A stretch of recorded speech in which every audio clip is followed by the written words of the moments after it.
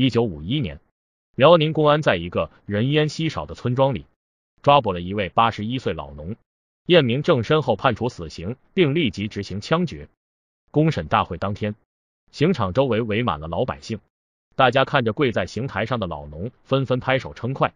可这位即将被执行枪决的老农却没有露出一丝害怕，反而趾高气扬的对着台下的百姓喊道：“我这辈子活得值了。”群众见老农临死前仍没有一丝悔悟，有的人朝他扔菜帮，有的人还气愤的上前准备动手打他。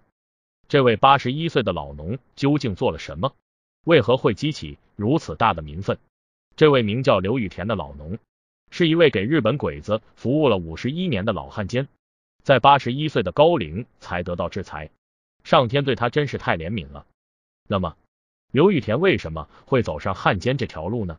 这一切的一切还得从他的父亲说起。刘玉田的父亲是辽宁大连普兰店区一个非常有钱的地主，虽然财大气粗，但是个出了名的怕老婆，因此一辈子只有一个太太。然而两人结婚多年，却一直没有子嗣，这也是成为夫妻两人的一块心病。尝试过各种方法后，地主的老婆终于怀孕，偌大的家业后继有人了，地主心情十分愉悦，对老婆更是百般宠爱。一八七零年，儿子出生了，地主给自己的宝贝儿子取名刘雨田。由于只有这么一个儿子，从小也是十分溺爱，几乎是要什么给什么，这也是让刘雨田养成了纨绔的性格。而地主也并没有意识到事情的严重性，反而觉得自己家大业大。就算儿子一辈子不干活，也能让他不愁吃喝。不过到了十八世纪末期，社会讲究是农工商，仅仅有钱是不行的。一个家族想要光耀门楣，还得走仕途。父亲便把期望全都寄托在儿子刘雨田身上，特意把儿子送到私塾读书。可享受惯了荣华富贵的刘雨田，怎么吃得了读书的苦？整日想方设法扰乱课堂秩序，偷偷跑出去吃喝玩乐。老夫子看到这样的学生，也是唉声叹气。为了不影响到其他学生上课，老夫子只好找到地主，劝说让刘雨田退学回家。地主一心想让儿子考取功名光宗耀祖，怎么会愿意让儿子退学？立马回绝了老夫子的请求。刘雨田在私塾又读了几年书，前后参加了两次科考，最终都名落孙山。地主心灰意冷，知道儿子根本不是读书的料。这才不再强制刘雨田读书，由他去了。没有了父亲和老夫子的约束，刘雨田更是放飞自我，整日出入一些风月场所，更是一门心思扑在寻欢作乐上。在这些地方待的时间久了，自然也是结交了许多狐朋狗友。其中有一位叫郑永昌的男子，更是改变了刘雨田的一生。郑永昌虽然叫着中国人的名字，可他却是个土生土长的日本人。而且他还有另外一个身份，日本间谍。他来中国的目的是搜集大量情报和拉拢中国人，为日本以后侵略中国打下基础。郑永昌自从与刘雨田认识后，对他是百般讨好，因为刘雨田是个非常好的帮手。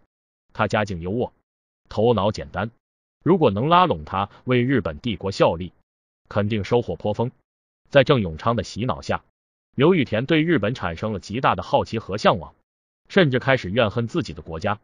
甲午战争爆发后，日本侵略者踏入中国的土地，这时很多中华儿女拿起武器捍卫自己的国家和领土。可刘雨田却加入了汉奸的行列。当时刚进入中国领土的日本人对个地方并不是很熟悉，急需一个熟悉地形和环境的中国人做向导。于是郑永昌找到了刘雨田。郑永昌利诱刘雨田，只要你投降皇军。保证一辈子荣华富贵，金票大大的有。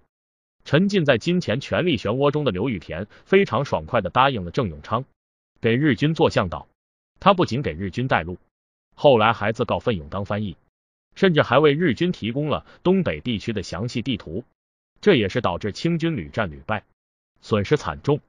更让人气愤的是，刘玉田为了攀附日本人，还鼓励当地主的爹加入汉奸行列。拿出自己的家产为日军购买军需物资，这些行为也是十分讨日本人喜欢。日本军官为了鼓励刘雨田继续为日军效力，特意赠送给刘雨田一把武士军刀，这让刘雨田更加耀武扬威，更加死心塌地为日本人做事。多行不义必自毙。刘雨田的汉奸行为让国人恨得牙痒痒，恨不得让政府立即处决了他。果不其然，日本撤出中国后，清政府立即发布了刘雨田的通缉令，一时间刘雨田成了过街老虎，人人喊打。为了保命，刘玉田找到昔日好友郑永昌，恳求其带他一起回日本。日本人对叛徒当然也是不耻的，但见刘玉田对大日本帝国忠心耿耿，而且留着他以后说不定还有用。于是便安排刘雨田到日本生活，并给他安排了一个教师的工作。到了日本后，刘雨田为了能更好融入日本人的生活，第一时间为自己改了个日本名字，叫做龟田松太郎。不久后，他就以中文老师的身份出现在日本陆军军官学校。刘雨田少年时最不喜欢的就是读书，彼时在日本却成为日本军官的中文老师，说来真是天大的讽刺。在当老师的期间，刘玉田可谓是兢兢业业、倾囊相授，而他教出的这些日本人却都是中国的敌人。到了一九零四年，日俄战争爆发，在日本混得风生水起的刘玉田又再次跳了出来，主动请缨回到东北为日军效劳，帮助日军对抗俄军。在刘玉田的帮助下，日军情报粮草充足，最终打退俄军，取得了胜利。之后，刘玉田以旅顺关东督府高级顾问的身份。留在东北积累了万贯家财，彼时的他可谓是富可敌国，不仅拥有几千亩土地和上百间房屋，还开设了银行。他敛财的同时，也不忘为日本人效劳。他帮助日本培养特务间谍，手下的特务遍布全国各地，也是为日军提供了大量的重要情报。抗日战争全面爆发后，刘玉田为了向日军表忠心，回到老家变卖了所有家产，给日军无偿捐献了多架战机。日本人看到刘玉田如此忠心，自然也会给他点小恩小惠，于是给这些战机取名为羽田号。刘玉田自信的认为自己与日本人已经真正成一家人了，可日本人却不这么认为。一个能出卖自己国家的人，又怎么会值得信任？如果不是因为刘雨田还有利用价值，早就被抛弃了。在八年抗战中，虽然出现过不少汉奸，但同样也有很多有志之士。他们用鲜血和生命捍卫着国家和民族，经过不懈的斗争，一九四五年终于将日本侵略者赶出中国。没有了日军当靠山，刘玉田自知自己过往的行为枪毙十次都不够，于是想要逃到日本寻求庇护。可这次日本人拒绝了他的恳求，因为此时已经年过七旬的他没有了任何的利用价值。就在刘玉田手足无措时，解放战争爆发了。他卖掉剩余的家产，贿赂了国民党政府的贪官污吏，最终让他脱罪潜逃。趁着国内一片混乱，刘玉田改头换姓，躲到家乡一处偏僻的山村，当起了农民，每日过着战战兢兢的生活。这一躲就是四年。刘玉田本以为自己躲藏了这么多年都没有被抓住，自己的事国家肯定是不再追究了，于是放松了警惕。到了一九五零年，新中国成立后。全国展开了镇压反革命运动。此时已经八十一岁的刘雨田被人举报到公安机关，在公安的调查下，确定此人就是不对，寻找多年的大汉奸刘雨田，立即展开了严密的逮捕行动。一九五一年，潜逃多年的刘雨田终于被逮捕归案。公安在审问他时，刘雨田一开始死不承认自己的罪恶身份。当公安把各种证明他身份的资料和罪证摆在他眼前时，刘雨田知道自己这次是躲不掉了，也知道自己的末日来了。可刘雨田在未执行枪决关押在监狱期间，他的所作所为令人发指。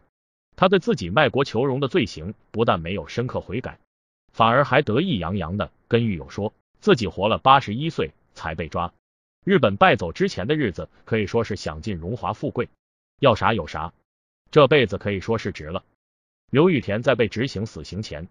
面对群众山呼海啸般的声讨，他仍然不知悔改的大喊道：“我这辈子值了，没有白活。”随着一声枪响，刘雨田重重的倒在了地上。这个可恶的大汉奸终于结束了他卑劣可耻的一生。围观的百姓看到这个臭名昭著、恶贯满盈的大汉奸受到正义的审判，纷纷拍手称快。回顾刘雨田的八十一年。他这辈子的确是享受到了很多人无法触及的荣华富贵的生活，但他罪大恶极，坏事做尽。他的一生是卑劣的一生，是可耻的一生，必定会受到人民正义的审判，被定在历史的。